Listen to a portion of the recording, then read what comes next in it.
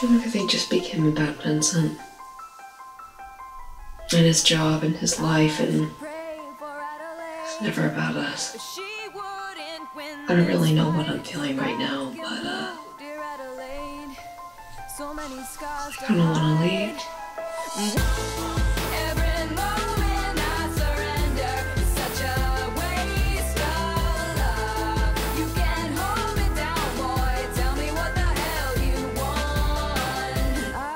Pray for Adelaide, but she wouldn't win this fight. Black and blue, dear Adelaide, so many scars to hide.